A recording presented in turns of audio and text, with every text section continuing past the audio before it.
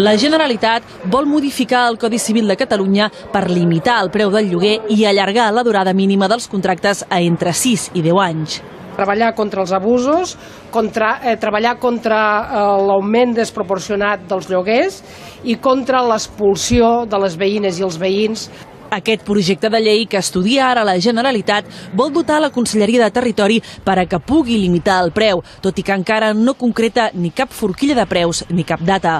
La consellera de Justícia ha dit avui que preveu emportar la iniciativa per debatre al Parlament a finals d'any.